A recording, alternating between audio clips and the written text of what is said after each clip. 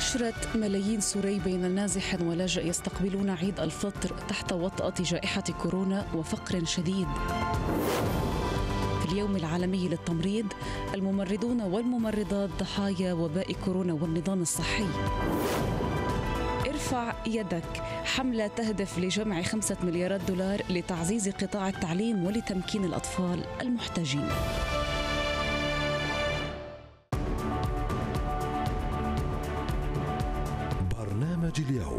مع لين البديري ورؤى ريان. صباح الخير مشاهدينا أهلا بكم في حلقة جديدة من برنامج اليوم نطل بها عليكم من استديوهاتنا هنا في دبي. صباح الخير يا رؤى. يسعد صباحك لين. ساعات قليلة تفصلنا عن عيد الفطر وانتهاء شهر رمضان فكل عام والجميع بألف خير. لدينا جولة تفقدية لاستعدادات العيد في البلدان العربية خاصة في دول النزاع التي يكون فيها دائما المواطن هو الخاسر الأكبر ولكن مع ذلك يصر على الإحساس ببهجة العيد ولو بالقليل من المظاهر البسيطة. يعني على سيرة العيد يا لين خليني أقول لك كمان آه يعني عيدك مبارك إن شاء الله ونعاد عليك بصحة وسلامة أنت وأهلك كل من يعز عليك ومن ضمن موضوعاتنا اللي راح نحكي عنها اليوم أكيد ما راح ننسى نوجه تحية امتنان لملائكة الرحمة الممرضين في يومهم العالمي اليوم العالمي للممرضين اللي صادف اليوم خاصة وسط جائحة كورونا اللي ضربت العالم. أكيد سنتابع أحوال الممرضين في دولنا العربية كيف هي أوضاعهم المالية والصحية والإجراءات المتبعة لحمايتهم وأيضا توفير بيئة مستقرة لهم. إضافة إلى ذلك سنذهب إلى قطاع التعليم في الدول العربية ففي ظل التحذيرات الدولية من تدهور قطاع التعليم خاصة في الدول الفقيرة يتوجب علينا الوقوف في تفاصيل هذا الموضوع. كيف أثرت جائحة كورونا على هذا القطاع؟ وما هي الحلول للتخفيف من حدة هذه الأزمة؟ تمر سنوات الحرب عاما تلو الآخر لتخلق واقعا جديدا هو الأصعب على شعوب دول النزاع في المناطق العربية وتوثق تقارير مفوضية اللاجئين التابعة للأمم المتحدة استمرار معاناة اللاجئين التي كانت الأشد خلال شهر رمضان في ظل الأزمة الاقتصادية وأيضا تداعيات جائحة كورونا. بالفعل رؤى وتوثق المفوضية مساعدة نحو 6000 أسرة على تأمين احتياجات شهر الصيام ومستلزمات العيد فيما تحتاج للدعم لاستكمال عملها وتأمين متطلبات نحو 3000 أسرة أخرى. بحسب بيانات الأمم المتحدة فإن ما يقارب نحو 80 مليون شخص حول العالم اضطروا للفرار من ديارهم. فيما تقدر أعداد اللاجئين منهم بنحو 26 مليون لاجئ. و85% منهم يعيشون في البلدان النامية التي تشمل المناطق العربية. فيما يقدر عدد اللاجئين في سوريا لوحدها بنحو 6.6 مليون شخص. بالفعل يعني يحاول نحو 6.6 مليون سوري التأقلم مع ظروف الحياة الجديدة في دول اللجوء فيما يسعى نحو أربعة ملايين نازح سوري للتأقلم مع هذه الظروف في مناطق سكنهم التي تتبع للمعارضة السورية حيث يقطن أكثر من 2 مليون نازح في الشمال السوري ويسعون لخلق مظاهر البهجة والفرح لاستقبال العيد. لا يمكنك أن تمر من أمام خيمة أم صالح دون أن تشم رائحة حلويات العيد. كالمعمول والكعك وغيرها وعلى أنغام صوت المهباج تعم البهجة في المكان. الجميع يصنعون حلوى العيد ويصنعون معها أجواء تخفف عليهم وطأة الحرب وتذكرهم بالعيد وطقوسه. بينما يكمل الأطفال من حولهم هذه الأجواء. إحنا متعودين انه ما سوينا كعك على العيد. يعني الواحد ما ينبسط ولا يعيد والأولاد تفرح والشياب تفرح. والناس كل يعني إيش بالنسبة لنا عيدنا الشعش يعني نحب نسوي شعش إذا ما عندك شيء بدك تدين وتشتري تسوي شعش ينتشر سكان الشمال السوري في الأسواق قبيل انقضاء شهر الصيام. في مدينة إدلب أسواق مزدحمة وإقبال على شراء الملابس والألعاب والحلوى. يحاول السكان هنا استغلال توقف العمليات العسكرية في المحافظة ليعيشوا فرحة العيد.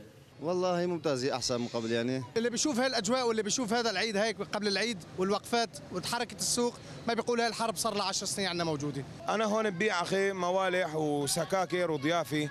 العالم هون مقبلة هالسنة على المواد الضعيفة يعني على الرخص. أكثر شيء ماخذ بلي على الرخص الناس عم تحاول إنه تضيق على حالها ماديا واجتماعيا لتفريح الابن أو بنته أو ولده ليشتري حاجيات العيد ويفرح الأطفال. رغم الظروف الاقتصادية الصعبة يبحث السوريون في المناطق التي أنهكتها الحرب عن البهجة. حتى من لم يستطع منهم شراء ملابس العيد الجديدة فأجواؤه وحدها تكفي لإدخال الفرحة إلى قلوبهم. كلما مر عيد يجتهد السوريون في صناعة الفرح بما توفر من إمكانات ولو بسيطة. على أمل أن تسهم هذه الأيام في تخفيف شيء من معاناتهم المستمرة منذ سنوات. يمان السيد الحرة محافظة إدلب. إذا زي ما شفنا لين مشاهد الفرح حتى لو بالشغلات البسيطة آه هذه أيام منتظرة من سنة لسنة. الأطفال والكبار كلهم ينتظروا هالأيام أيام العيد. آه شفنا الست الكبيرة اللي كانت بتقول إنه ممكن حنا نتدين عشان نصنع الكعك الكعك اللي هو جوا بالتمر أعتقد. وفي شغلات بسيطة بتصير عشان بس يفرحوا هالأولاد رغم إنه مر تقريبا عشر سنوات من حرب ومشاكل وعدم استقرار وما فيش أمن. لكن كيف بيحاولوا قد ما يقدروا إنهم يسعدوا نفسهم ويسعدوا أولادهم بهالأيام؟ بالفعل يعني هاي اللحظات هي اللي ممكن تنسيهم الأوجاع الحرب صح. وحتى الضائقة المالية اللي بيعيشوها. ممكن زي ما قلتي إنه يروحوا للتدين إنه يتدين, يتدين. مقابل إنه فرحة العيد لأنه ممكن تنسي هذا الهم. يعني خلينا هذا بالنسبة لسوريا. يعني اليمن ما بيختلف الحال فيها كثير فايضا اليمنيون يستقبلون عيد الفطر المبارك في ظل أوضاع متأزمة ارتفاع شديد في أسعار بعض السلع الضرورية خلال العيد من حلويات وزبيب ولوز وغيرها من البضائع. يحاول بعض الشباب زرع البهجة عند الأطفال غير القادرين على الحصول على كسوة العيد. من خلال مبادرات لتوزيع ملابس العيد عليهم. وأيضا لين تقدر الأمم المتحدة أن 80% من اليمنيين هم يحتاجون المساعدة الماسة الضرورية للحياة في ظل انقطاع الإمدادات وفقدان مستلزمات الإنتاج من الأغذية وأيضا تعطيل التجارة مع العالم الخارجي. نتابع هذا التقرير. القليل من الزبيب والحلويات وما يسمى بجعالة العيد في اليمن بات كافيا لاستشعار أمين وأسرته بفرحة العيد ولو بشكل رمزي بسبب ارتفاع أسعارها هذا العام. بالنسبة لجعالة العيد كان أسعار رخيص. الآن ارتفع ارتفع على أنه دحين نرجع نشتري حاجات بسيطة. بدل ما كانوا يشتروا 2 كيلو كيلو الآن يشتروا ربع كيلو. آه الزبيب هذا كان مرتفع. الآن النفر يطلع إلى عشرة ألف. كان يطلع بألفين الآن أسعار خيالية أنا يروح من الوطن هذا يروح هذا الشعب هذا مسكين. تمثل حلويات العيد والمكسرات التي اعتاد اليمنيون على شرائها قيمة تضفي عليهم الفرحة لكنها أصبحت عبئا ويصعب على الكثير من الأسر توفيرها بسبب تردي الأوضاع الاقتصادية والمعيشية. غلاء فاحش بكل حاجة بالملابس بالحلويات العيد حتى لدرجة إن الدب الغاز هذه ب 2500 ب 3000 توصل. ساعة مني. وإحنا من وين؟ أنا نازح في تعيس.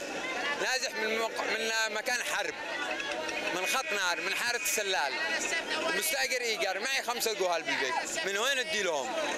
تردي الأوضاع دفع بالعديد من الشباب مثل عمرو في مدينة تعز لإطلاق مبادرات لزرع البهجة عند الأطفال بتوزيع ملابس العيد في محاولة للتخفيف من معاناتهم. محافظة تعز تمر بمرحلة صعبة وظروف استثنائية منذ السبع سنوات بسبب الحرب الدائرة في المحافظة. فكثروا الناس المحتاجين والنازحين في المحافظة فنحن نعمل جاهدين من أجل رسم البسمة على وجوه الأطفال وعلى وجوه الأسر المحتاجة والفقيرة بتوفير الكساء لهم. الأزمة الحاصلة في البلاد قللت من مظاهر الفرحة بالعيد عند الكبار والصغار على حد سواء ومع ذلك يحاول المواطنون خلق أجواء ملائمة تخرجهم من واقع الحرب. تشكل الضائقة المالية وارتفاع الأسعار كابوسا يؤرق حياة المواطن اليمني ويسلب منه فرحة العيد التي اعتاد على إحيائها. مجد الدين شكري قناة الحرة. تعز. لمتابعة الموضوع أكثر ينضم إلينا عبر الهاتف من بيروت الناطق الرسمي باسم المفوضية السامية لشؤون اللاجئين أستاذ فراس الخطيب مرحبا بك معنا. إذا نتحدث عن نحو عشرة ملايين سوري. نبدأ بالملف السوري بداية بين نازح ولاجئ. كيف يستقبل هؤلاء العيد على اختلاف أوضاعهم؟ طبعا الأزمة السورية هي كانت الأكبر عالميا. الحرب العالمية الثانية أكبر أزمة إنسانية والآن أصبحت اليمن أيضا أكبر أزمة. آه مع الأسف يعني آه يمر العيد ويأتي عيد آخر ولا زال الوضع على حاله. الأزمة مستمرة النزوح اللجوء الشعب السوري مثل ما تفضلتي 10 مليون. اللاجئين يعني ثلثينهم تقريبا ناجحين داخليا في بلدهم. والباقي موزعون على أكثر من 120 بلد في العالم. فطبعا الإنسان عندما يترك بيته يعني يصبح أكثر حاجة ويصبح يحتاج إلى في كثير من الأحيان للدعم الإنساني. وهذا ما يسبب يعني عبئا كبيرا على المنظمات الدوليه وعلى الدول المانحة. نعم. من أجل العناية بكل هؤلاء ذكرت سيد فراس إنه هناك من يعني في سوريين يعني يعيشون الآن في نزوح داخلي. يعني مثلا في شمال سوريا لوحدها يسكنها أكثر من نصف النازحين في سوريا. الشمال اليوم يعني هي تعتبر منطقة منهكة اقتصاديا مكتظة ميدانيا. لكن كيف تقيم المفوضية أوضاعهم هناك؟ يعني لا شك أن أوضاع صعبة جدا ل يعني لملايين الناس الذين تركوا بيوتهم ولا زالوا على حالهم منذ بدء الأزمة. فالنازح عندما يترك بيته طبعا قد يفقد عمله ويفقد يعني مصادر دخله. فبالتالي يعني تكون الحياة أصعب. والاعتماد على المساعدات الإنسانية التي هي بحد ذاتها يعني هي الحد الأدنى من نعم. إنقاذ الحياة. ولكنهم بحاجة للكثير فهم الكثير من الأطفال تركوا المدرسة، الكثير من الأهالي فقدوا مصدر رزقهم فأكيد هي حالة صعبة لكل هؤلاء النازحين داخليا. طيب سيد فراس يعني اليمن ليست أحسن حال من سوريا بالحديث عن الوضع في اليمن، الأمم المتحدة حذرت كثيرا من تفاقم الوضع في اليمن، هل يستطيع اليمنيون أن يتحملوا أعباء العيد وتكلفته أم ماذا؟ لا طبعا فالعيد هي مناسبة لأولئك الناس الذين يعني يستطيعون تحمل تكاليف م. العيد من ملابس لأطفالهم ومواد غذائية وما شابه من فرحة العيد لكن بالنسبة للنازحين واللاجئين فهم تقريبا يعني محرومون من الحياة الطبيعية فما بالك بالعيد. فأكيد هي حالة تمر عليهم وهي حالة صعبة. ولا بد من يعني الحل الذي يكون يعتمد على السلام ويعني إيجاد فرصة لاستعادة كل هؤلاء حياتهم حياتهم. يعني نتمنى إنه فرحة العيد صحيح. تعم بجميع دولنا العربية. شكرا لوجودك معنا ناطق رسمي باسم المفوضية السامية لشؤون اللاجئين فراس الخطيب. شكرا جزيلا لك. بعد قليل نتابع في اليوم العالمي للتمريض الممرضون والممرضات ضحايا وباء كورونا والنظام الصحي. ابقوا معنا.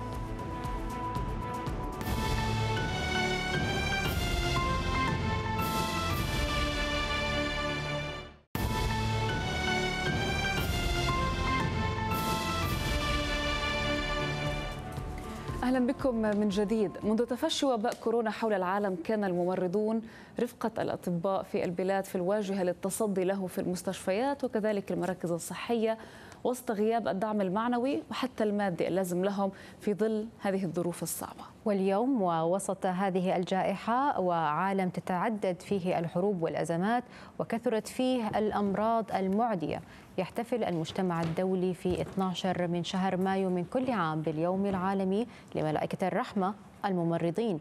وتأتي هذه المناسبة في وقت يواجه العاملون في قطاع التمريض ضعفا في الأجور ونظاما صحيا متهالكا عدا عن النقص الكبير في عدد الممرضين في دولنا العربية في ظل تزايد هجرة العاملين في القطاع الصحي. يعني وهذه نظرة سريعة على أعداد الممرضين في وطننا العربي. نجد نقصا في الكادر الصحي عموما وفقا لتقرير منظمة الصحة العالمية الصادر العام الماضي. على سبيل المثال في السودان هناك أقل من عشرة ممرضين لكل عشرة ألاف مواطن سوداني. أما في الجزائر فهناك عشرة إلى تسعة عشر ممرضا لكل عشرة ألاف مواطن جزائري. الرقم ذاته يتكرر في مصر التي تعاني من قطاع صحي مجهد. النسبة الأكبر من الممرضين في غرب إفريقيا نجدها في ليبيا حيث يتواجد 40 إلى 49 ممرض في خدمة عشرة ألاف مواطن ليبي. اليمن هي الأخرى تشهد معاناة كبيرة في هذا القطاع حيث نجد أقل من عشرة ممرضين لكل عشرة ألاف مواطن يمني. أما على صعيد سوريا ففيها 20 إلى 29 ممرض لكل عشرة ألاف مواطن سوري.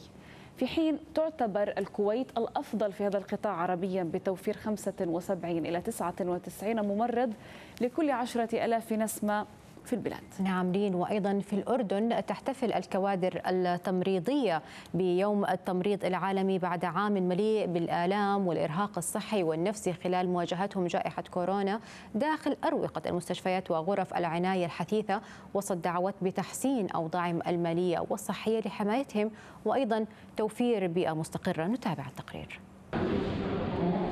بعد أيام من زواجهما العام الماضي اختار الممرض الأردني هيثم وزوجته إيمان أن يقضيا شهر العسل في قسم عزل مرضى كورونا في إحدى المستشفيات الأردنية. عقب تطوعهما لعلاج المصابين بالفيروس. كنا إحنا يعني أزواج يعني جديدين.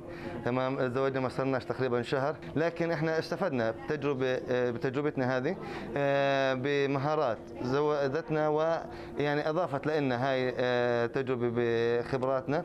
أما زوجته إيمان فتستذكر هي الأخرى هواجس نفسية وصحية خشية الإصابة من خلال عملهما كممرضين لعام كامل بين المصابين في المستشفى. كان مريض يضل فترة طويلة لحاله إنه ما فيش زيارات ولا في شيء فكان إحنا بدنا نمشي من الجانب العلاجي والنفسي للمريض. خوف كان هي إنه كان هذا فيروس جديد ولسه إحنا مش عارفين شو طبيعته كيف بينتقل وشو العلاج وهيك. تحديات عديدة تواجه قطاع التمريض في البلاد. تتمثل بضعف حماية الكوادر الصحية من الإصابة بفيروس كورونا وأخرى تتعلق برواتبهم وحوافزهم المالية المتدنية. جميعها أسباب دفعت العديد من الممرضين إلى البحث عن فرصة أفضل داخليا من مستشفى لآخر أو الهجرة إلى دول أخرى. هذا النقص الآن بين بين اتجاهين يا إما هجرة الممرض داخل داخل الأردن لبحثه عن فرصة أفضل. وهجرة خارجية. في عندنا قطاعات مختلفة. في عندنا قطاع العسكري في الطبي عندنا قطاع حكومي وعندنا قطاع جامعي وعندنا قطاع خاص. لكل قطاع له خصوصيته الخاصة. لكن في المجمل في النهاية يجب أن يكون هناك راتب مجزي حوافز مجزية. ثلاث أرباع الكادر بهذيك الفترة انصاب. قديش كانت المعاناة؟ قديش كنا إحنا بدنا إنه نحاول يعني نستنى القدر إنهم هم يجوا من من إجازاتهم الحجر الصحي حتى نقدر إن نتعامل مع المرضى. 36 ألف شخص يعملون في قطاع التمريض والقبالة في الأردن. تطرح تساؤلات حول ضرورة دعمهم في ظل وجود حاجة ماسة لهم بسبب الجائحة.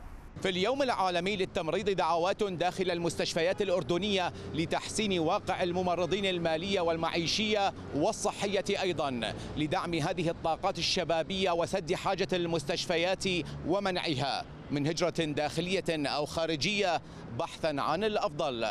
حيدر العبدلي الحرة. عمان. وفي ألمانيا يعتبر قطاع التمريض من أكثر القطاعات التي يعني تتطلب اليد العاملة، هذا القطاع يرغب به كثير من المهاجرين في برلين وعموم ألمانيا، خاصة إنه المشافي ودور الرعاية الصحية باتت تحتاج لزيادة في أعداد الممرضات والممرضين منذ بداية جائحة كورونا، هذا الأمر الذي يضم وظيفة أو يضمن عفوا وظيفة ودخل لمن ينهي دورات تدريبية في هذا المجال. نتابع. رغم أنها عملت في مجال التدريس لسنوات في سوريا لم ترغب عبير بمتابعة العمل في هذا المجال بعد قدومها إلى ألمانيا لما يتطلبه ذلك من تعمق في لغة لم تألفها. وبعد مرور ثلاثة أعوام من استقرارها في العاصمة برلين قررت أن تتخصص في مجال التمريض والرعاية الصحية. أنا اخترت هيدي المهنة آه، لأسباب إنسانية بحتة لأنه هون بألمانيا في كتير من العجائز من الكبار بالسن وهذا الشيء أكيد يعني بحاجة لرعاية لإلهم. والحلو والأحلى من هيك إنه ما بدها كتير آه، لغة عالية. آه، مدتها مدتها هي ست سبعة أشهر وشهر براكتيكوم بالمشفى اختبار. وفورا بعدين على الشغل. وجدت عبير على غرار أمثالها من المهاجرين فرصة حاجة المشافي الألمانية للمختصين في مجال التمريض ومساعدي الممرضين مع تفشي جائحة كورونا. ليلجوا هذا المجال مستفيدين من فرص تلقي التدريب لدى العديد من مراكز التأهيل المهني في مجال التمريض بالتعاون مع برامج الحكومة الألمانية الخاصة بالإندماج وتوفير فرص العمل. إحنا بمركز ابل سين عم نحاول آه، نختصر هذا الطريق ويكون في عنا زي دورة تدريبية آه، طريق تدريب مهني آه، بنخرج من خلالها آه، متدربين يكونوا مساعد ممرض في عنا مساعد ممرض أو مساعد ممرض إسعاف أو مساعد ممرض بالرعاية الصحية بيكون معه شهادة لحتى يقدر يعمل هاي المهنة. وهذه التدريب المهني ما بيتجاوز من ستة لسبعة أشهر وفرص العمل دائما متوفرة وإحنا كمان بنساعد بفرص العمل ب- بكتير مشافي أو بالرعاية الصحية أو بالمراكز الطبية. جدير بالذكر أن هيئة المشافي الألمانية أعلنت أنها وظفت حوالي 18 ألف مختص في مجال التمريض منذ بداية جائحة كورونا. يسعى الكثير من المهاجرين إلى التخصص في مجال التمريض في ألمانيا نظرا لحاجة المشافي ودور الرعاية الصحية لهذا التخصص بشكل مستمر وسهولة الحصول على فرص عمل بعد الانتهاء من دراستهم. مكسيم العيسى الحرة برلين. تنضم إلينا من بيروت ومن مقر النقابة نقيب الممرضات والممرضين في لبنان ميرنا ضومت مرحبا بك معنا أستاذة ميرنا. كل عام وأنتم بخير. بداية خلينا نحكي عن مصير التمريض في بلداننا العربية في ظل تضاؤل العاملين يوما بعد يوم. أنا بشكركم وبعايد كل المرضات والمرضين بكل العالم. هيدا نهار كتير مهم لنا وبشكركم أنكم عم بتضووا على هالموضوع. هلأ نحن بلبنان خصوصا ما عندنا مشكلة بأعداد الشباب والصبايا يلي عم بيجوا ليدرسوا تمريض. يعني نحن سنة الماضي خرجنا 1200 مرضى وممرض على مستوى جامعي. السنة إذا الله راد ابتداء من شهر حزيران رح نبلش نخرج 1700 مرضى وممرض هلأ المشكلة عندنا كيف نستبقيهم بالوطن؟ وبفتكر هيدي مشكلة جميع الأوطان العربيه لازم ينحط خطة للاستبقاء لأنه عم يتخرجوا هالشباب عم بياخذوا سنتين ثلاثة خبرة وبعدين عم بيفلوا. ويلي عم بيفل هن من حملة الشهادات الجامعية من يلي عندهم خبرات وهيدا بشكل خطر طيب على القطاع يعني زي ما ذكرتي إنه الدول الغنية يعني إن صح التعبير هي بتخطف الممرضين والممرضات آه اللي يعني بيكونوا في ذوي دخل منخفض لو نبغى نقول برأيك يعني وش السبب؟ إيش اللي يخليهم إنهم يروحوا لأماكن ثانية بعيده عن أوطانهم؟ الممرض أو الممرضة هو إنسان. ودائما كل إنسان بيطمح إنه يحسن مستقبله ومستقبل عائلته. الدول الغنية بحاجة لمرضات ومرضين وعم بيتم مش بس بالمصاري يعني عم بيتم إغراءهم إنه بتروحوا بنعطيكم جنسية بنعلم لكم أولادكم ببلاش هول كل هالباكج هيدا هو من الإغراءات يلي عم بتخلي مرضات ومرضين الدول العربية تتجه إلى الدول الغنية. ونحن بنعرف منظمة الصحة العالمية أعلنت إنه لسنة 2030 العالم رح يكون بحاجة ل 9 مليون مرضى وممرض وهلأ زاد العدد بسبب كورونا. في كثير توفوا في كثير تركوا المهنة. نعم. العالم صار بحاجة ل 12 مليون مرضى وممرض من وين بدهم يجيبوهم؟ الدول الغنية رح تجرب تستقطب تستقطب وعم تستقطب المرضات والمرضين يعني من الدول يلي هي أقل غنى ويلي هذا بالوضع العادي. هي عم تقدم له العالم بحاجة إلى الكثير من الممرضين لكن ماذا عن تأثير كورونا على واقع التمريض والعاملين فيه؟ سنتابع هذا التقرير. يعني ومن ثم نستكمل حوارنا معك. أحمد ممرض مجاز في مستشفى رفيق الحريري الجامعي. بعد ما يقارب 12 عاما من العمل الإنساني يجد نفسه مرغما على اعتماد خيار الهجرة الصعب بعد عجزه عن تأمين حاجات أطفاله بسبب تدني راتبه. النورس بلبنان اللي كان يقبض 1000 و1500 و2000 دولار. هلأ صارت تحولون على الدولار على الأزمة 200 دولار. سو هو خسر 80% من قيمة المعاش تبعيته. فأنا آه، لأنه عندي عائلة وما في ضلني مكمل أنا بهيدا ال level من الشغل وتعب وآخر شيء ما في مصاري وهيك فقررت إنه أنا أسافر. هلأ خمسة تقريبا فلين مع بعض هيدا الشهر. وفي قبلنا كمان كثير فلوا وفي بعضنا أكيد بده يفل. انعكست هجرة الخبرات الطبية والتمريضية بشكل سلبي على بعض العائلات. خلود طبيبة التوليد في مستشفى الحريري غادر زوجها لبنان لتتحمل وحيدة مسؤولية أطفالها. تشير الأرقام الرسمية الصادرة عن نقابة الممرضين والممرضات أن أعداد المهاجرين من قطاع التمريض وصل إلى ما يقارب الألف من ذوي الخبرات. هلا هيدي مشكلة كمان عشان اجتماعيا بتعرفي يعني في الأولاد بدأ مش بس قصة career ك career wise الواحد بيقول بيتحمل بركي بيقدر يبقى بهالبلد وهيك بس اجتماعيا شوي يمكن صعبة. بس كمان ما بنعرف شو حيصير معنا يعني. زينب واحدة ممن كانوا في الخطوط الأمامية في مواجهة فيروس كورونا. هذا الوباء كان أحد الأسباب الذي فاقم أزمة القطاع التمريضي. اليوم تساهم في عمليات التلقيح تقول إن مواجهة هذا الوباء شكل أكبر تحد للجسم التمريضي. بالإضافة للعناية الطبية اللي عم نقدم لهم إياها عم نعطي دعم نفسي كثير كبير لهم لأنه كلهم بيجوا عندهم عندهم ضغط نفسي عندهم صدمة من هذا المرض لأنه كله بعده عندهم مش واضح. تقول نقيبة الممرضين والممرضات في لبنان إن الجسم التمريضي والطبي ينزف بسبب هجرة الكثير من ذوي الكفاءات إلى الخارج وأعلنت النقابة عن حالة طوارئ تمريضية في اليوم العالمي للتمريض لا يبدو قطاع التمريض في لبنان بأحسن حالاته. هو يعاني اليوم من هجرة عشرات الكوادر التمريضية بسبب الضائقة الاقتصادية والمالية. ما يهدد القطاع الصحي في المرحلة المقبلة. سحر أرناؤوط الحرة بيروت. بالعودة لك سيدة ميرنا آه، يعني كيف أثر كورونا على واقع التمريض والعاملين فيه؟ وما هي التحديات اللي طبعا تواجه آه، القطاع الصحي بشكل عام والممرضين؟ يعني زي ما شفنا في أحد التقارير الرسمية آه، ذكرت أنه العجز في المناطق التي تعاني من نقص في الكوادر التمريض سيبلغ تقريبا 5.7 مليون كادر بحلول عام 2030 وهذا رقم كبير. برأيك هل هناك حلول مطروحة أم ماذا؟ إذا بدي أقول لك بالنسبة لنحن وضعنا بلبنان الكورونا ليس هو السبب الرئيسي يلي عم بيؤدي للهجرة. بالعكس مرضات ومرضين لبنان تعاملوا مع الكورونا بطريقة بطولية.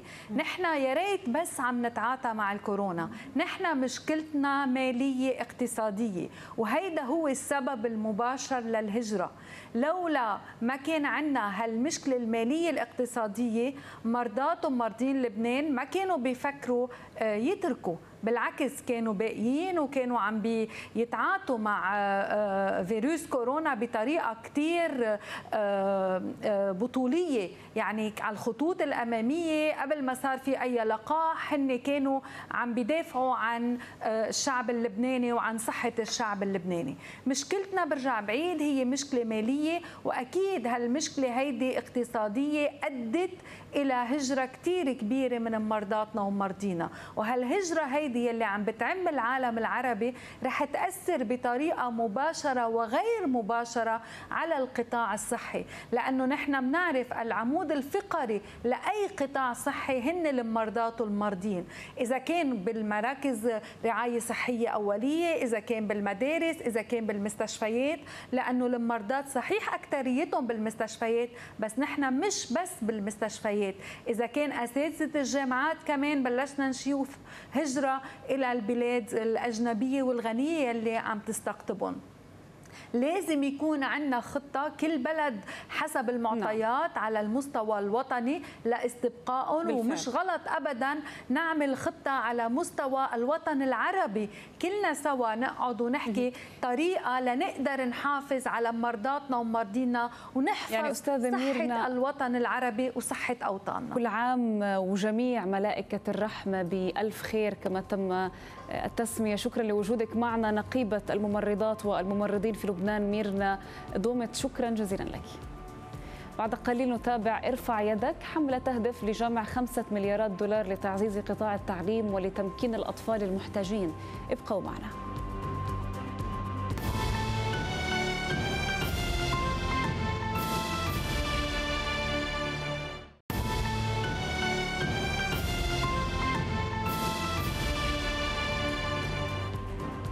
مشاهدينا تزداد التحذيرات من أن الأطفال في العديد من البلدان الفقيرة والنامية باتوا محرومين وهم الأكثر تضررا بسبب الآثار السلبية التي فرضتها جائحة كورونا على قطاع التعليم في تلك الدول والمناطق. نعم ووسط مناشدات دولية لحكومات العالم بالمساهمة في التعهدات المالية لتمكين الأطفال المحتاجين من الحصول على التعليم. أيضا تستمر حملة إرفع إيدك التي تهدف إلى جمع ما لا يقل عن 5 مليارات دولار لمساعدة نحو مليار طفل في الحصول على التعليم من ضمن 90 دولة في منطقة منخفضة الدخل. وتشارك دول مجلس التعاون الخليجي في الحملة من خلال قادت صناديق التنمية الخليجية وتقود حملة التمويل هذه الشراكة العالمية للتعليم بالتعاون مع مؤسسة دبي للعطاء والبنك الإسلامي للتنمية. يجابه اللاجئ السوري مصطفى الأحمد تحديات تأمين مواصلة تعليم أطفاله السبعة. يمنعه وضعه الاقتصادي الصعب من توفير أجهزة رقمية تكفيهم من أجل تطوير مهارات القراءة والكتابة. ليجد الأب نفسه يتجرع مرارة أتعاب اللجوء مضاعفة حيث تفاقمت أزمة التعليم وسط جائحة كورونا. بداية الأمر هو الواحد مضغوط ماديا كونه تغرب من بلد لبلد تمام؟ بس بكورونا صار الوضع أكثر يعني هسه يعني إحنا بحاجة أقل شيء ثلاث أو أربع أجهزة تيغطن أولادي. أنا ما عندي إلا جهاز واحد يعني. كحال الملايين في مناطق حول العالم تضاعف عدد الأطفال غير الملتحقين بالمدارس في شمال سوريا بسبب انتشار فيروس كورونا والفقر حسب منظمة أنقذ الأطفال. هذا بينما تقدر اليونيسف أعداد من واجهوا مصاعب أو حرموا من التعليم ب 110 ملايين طفل. مؤشرات تنذر بالخطر وسط تراجع فرص الحصول على التعليم في العديد من البلدان حول العالم. حالة طوارئ تعليمية توصف بالأكبر تسببت فيها النزاعات من جهة وجائحة كوفيد 19 أزمة باتت تستدعي الانتباه وسط دعوات إلى حث المساعي لتأمين تمويل أحد أشد القطاعات تضررا. جرس إنذار تدقه منظمات عالمية إنسانية من حدوث كارثة تربوية تمتد لأجيال.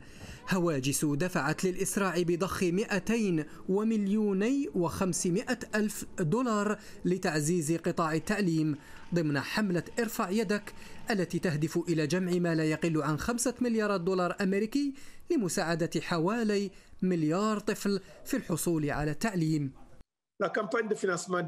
حملة التمويل للشراكة العالمية للتعليم التي تستهدف جمع خمسة مليارات دولار لتعزيز ودعم حياة ملايين الأطفال وحقهم في التعلم. هي حملة طموحة ولكنها ليست سهلة لتتحقق على أرض الواقع. وفي وقت يأتي توجيه الاستثمارات نحو قطاع التعليم تحرم الصعوبات الاقتصادية بسبب جائحة كورونا ملايين الأطفال المحتاجين من التعليم وسط انتشار لمعدلات الفقر.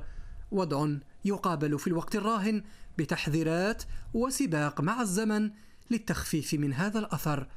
مصطفى سكحال الحرة دبي.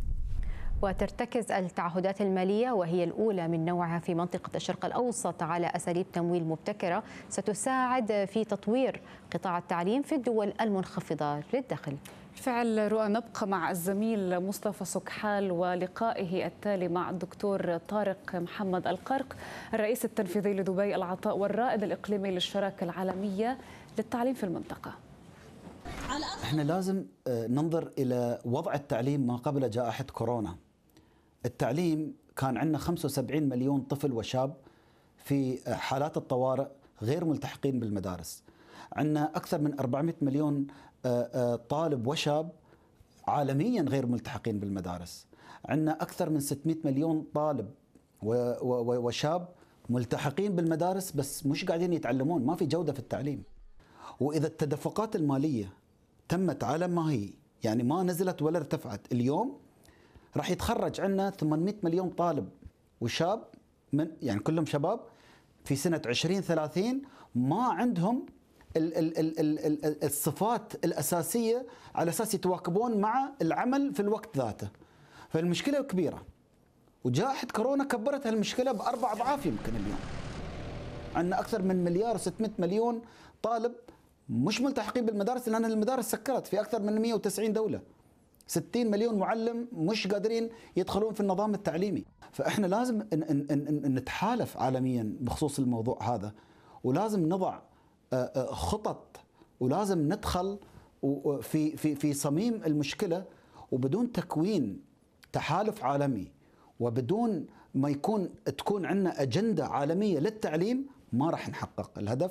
وراح إحنا ككوكب الأرض راح نخسر جيل كامل ما راح يتعلم شيء معناته بعد عشر سنين راح نواجه كارثة عالمية من ناحية العلم من ناحية التعلم وأيضا من ناحية المادية لأن الاقتصاد العالمي راح ينزل لأن الجيل كامل ما راح يتخرج. وهني وين الشراكة العالمية للتعليم تدخل؟ لأن هي تمول وزارات التربية والتعليم في الدول النامية وتمول يعني بالأصح خطط القطاعات التعليمية في هالوزارات. وهي المنظمة الوحيدة الغير حكومية اللي, اللي, اللي تحط هالمبالغ الكبيرة. عشان شيء الشراكة هاي ضرورية جدا وإحنا دخلنا معاهم شراكة يمكن من سنة 2014 كنا أول مؤسسة غير حكومية وأول منظمة إنسانية تمول الشراكة هاي. دخلنا بمليون دولار في 2018 دخلنا بمليون دولار ثانية. وقدرنا في نفس السنة نعطي الاستشارة لدولة الإمارات لحكومة دولة الإمارات أنها تستثمر للشراكة. وفي سنة 2018 دولة الإمارات كانت أول دولة عربية وإقليمية تدخل مع الشراكة العالمية للتعليم. وأعطتهم منحة بقيمة 100 مليون دولار.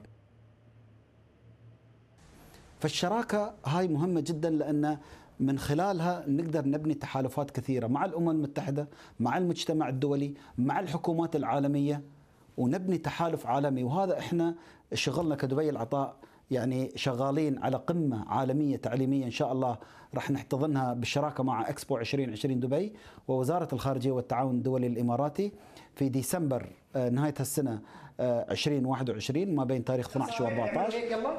فرجوني هيك هيك فوق فوق فوق فوق فوق فوق فوق صحيح؟ اليوم الغرب اللي هو أكبر داعم للمساعدات الإنسانية ومن أكبر الداعمين وأكبر داعم أيضا إلى آه، آه، قطاع التعليم العالمي اليوم الغرب ما قام يحط مساعدات دولية في مجال التعليم. التدفقات المالية الاستثمارات المالية في التعليم الدولي خصوصا للدول النامية نزل بشكل كبير. الاجتماعات اللي صارت بالرياض وجدة للشراكة العالمية للتعليم وضعت الحكومات العربية والإسلامية وضعت البنوك العربية والإسلامية ووضعت أيضا الصناديق العربية والإسلامية في اجتماع واحد على أساس إن هذه فرصة لكل الجهات العربية والإسلامية إنهم يدخلون في هذه الفجوة على أساس يقدرون العرب والمسلمين يقدرون يكون عندهم موقع كبير عالمي في المقاعد العليا على أساس يدخلون في هذا التحالف وأيضا يضعون تدفقات عربية وإسلامية على أساس نقدر نحل مشكلة التعليم عالميا. في فقرتنا الرياضية اليوم راح نسلط الضوء على أسيل يوسف هي مدربة رياضية للكروسفيت تحديدا اللي تحاول تغيير الصورة النمطية عن الرياضة عند النساء الحوامل. ومن لديهم طبعا أطفال بأنه يعني مو المفروض أنهم يرجعوا يعملوا هذه الرياضة إذا كان عمر أطفالهم لسه شهور صغيرة وأنه بالعكس آه لابد أنه السيدة ترجع تمارس حياتها الطبيعية وتمارس الرياضة وتعود أو ترجع للروتين اللي كانت بتمارسه قبل الولادة. بالفعل يعني فأسيل منذ بداية حملها الأول وإنجابها لطفلها جهاد لم تتقطع عن تدريب رياضة ال CrossFit والتي تعتمد بشكل أساسي على جهد العضلات بل أصبح طفلها جزءا أساسيا من تدريباتها. نتابع. طيب snatch deadlift عملناها الأسبوع الماضي. رح تعملوا تقريبا نفس الشيء اليوم. اسمي أسيل يوسف. عمري راح أصير 29 سنة.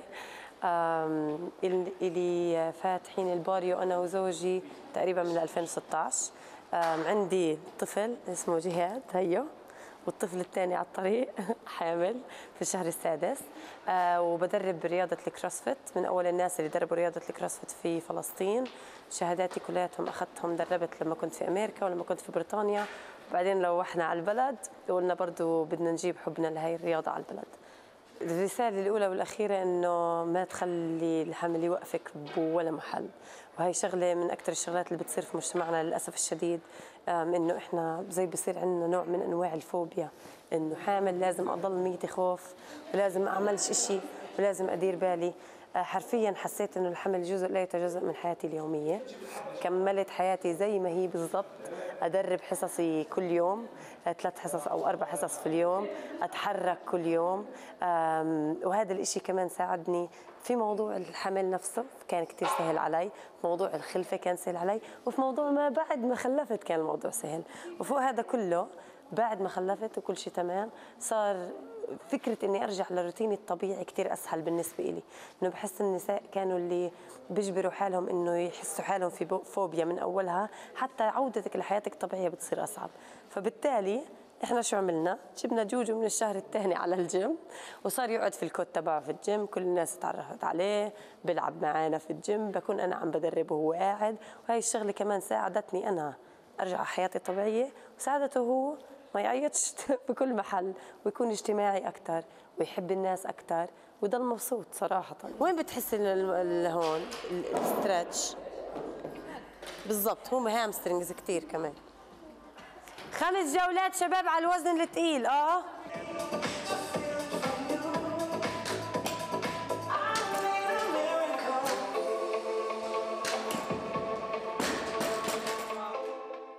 أنا كنت محامي وبدرب ملاكمة part time آه، بشكل يومي.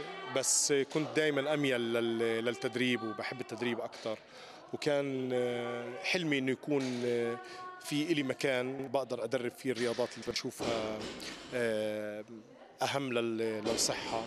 و وأخذت هاي الخطوة واستقلت من المحاماة ودخلت بهذا الموضوع أكثر وعملت نادي أقدر أقدر أخلي الناس يشوفوه من منظور آخر اللي هو المنظور العائلي والناس تكون مرتاحة فيه وعلى طبيعتها فيه. هلا انضم لنا جهاد الصغير وفي يوسف كمان على الطريق رح يجي.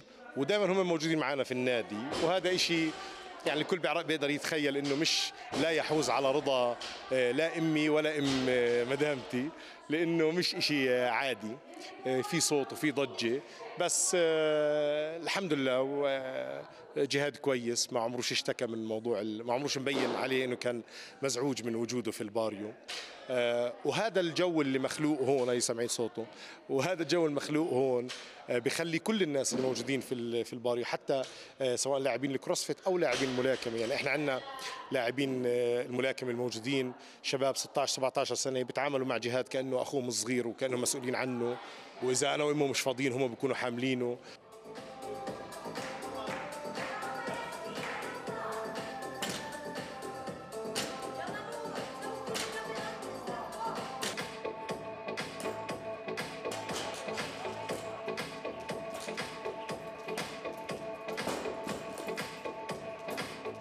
شغلي أنا كمبيوتر فطول اليوم على المكتب.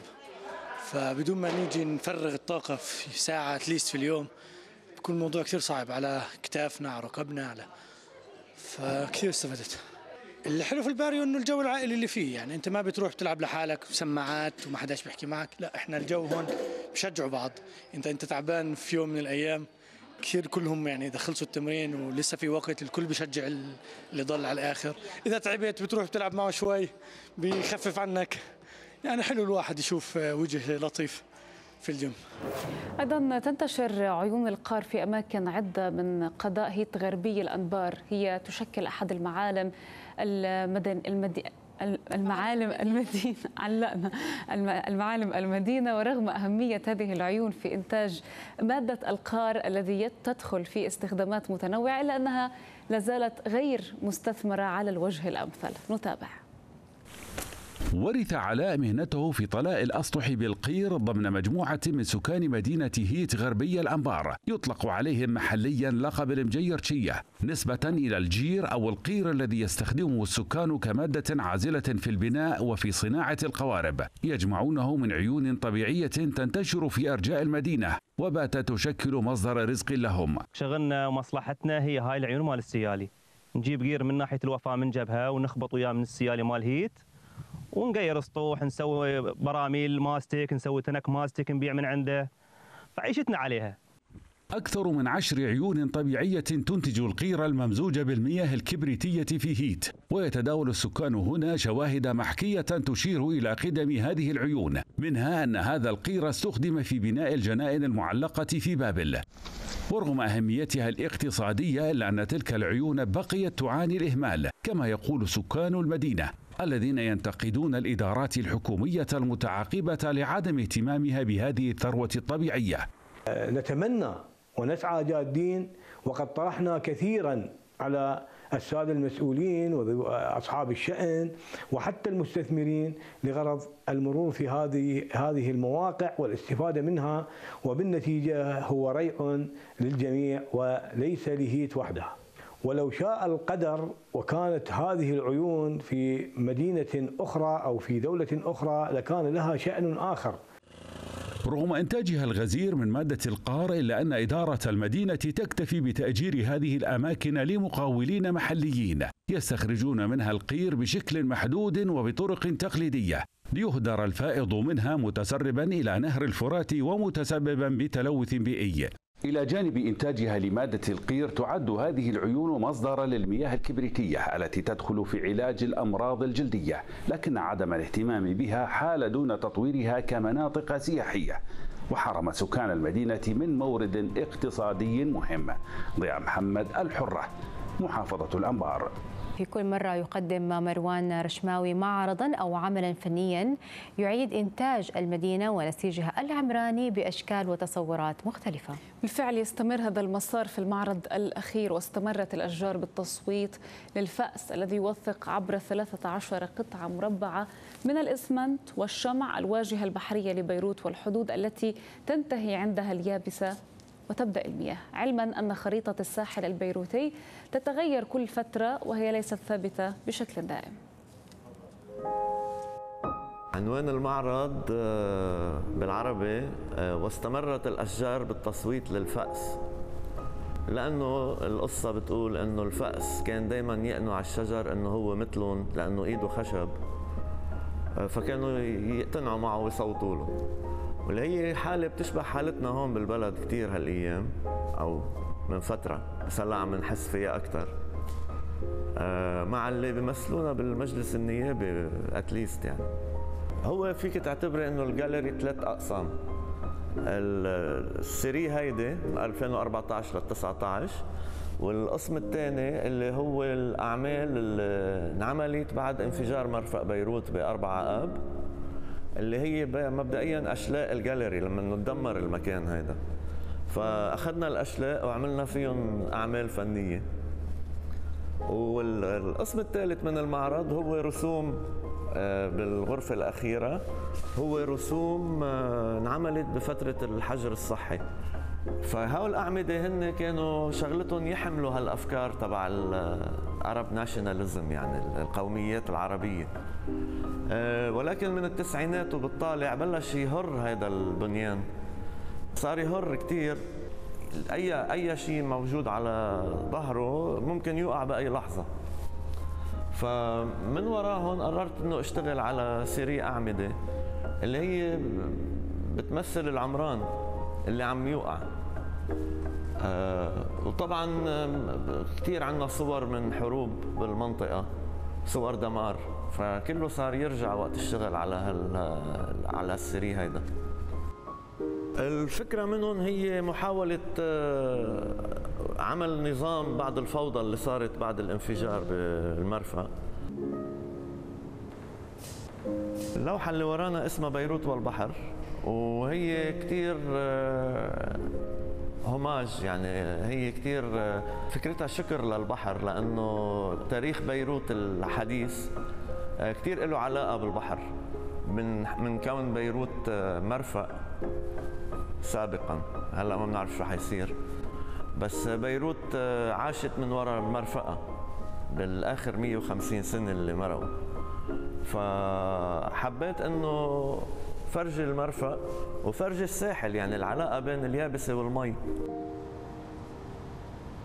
الفرق بين الصالتين اللي برا والصالة هاي إنه هدوليك الأعمال بيتطلبوا تخطيط وتحضير مسبق وبدهم وقت لينعملوا لتفك القالب يعني في البروسيس طويل. بينما بهاي الغرفة الشغل تقريبا جاي من اللاوعي. يعني عندك ورقة بيضاء ودغري بتحط الفكرة على الورقة ما في داعي تخططي لها من قبل. انضرب كل شيء بعد الوباء الكوفيد. العلاقات الاجتماعية ما عادت مثل قبل والعلاقة مع الثقافة أو دور العرض ما عادت مثل قبل. فكان كثير مش مضمون نتائج المعرض هيدا. ولكن تفاجأنا إنه العالم عطشانة. بدها تشوف بدها تشوف ثقافة وفن و... وتسمع الآخر. نهاية هذه الحلقة إلى اللقاء. وأكيد لا تنسوا ترسلونا بارائكم على موقع البرنامج في أمان الله.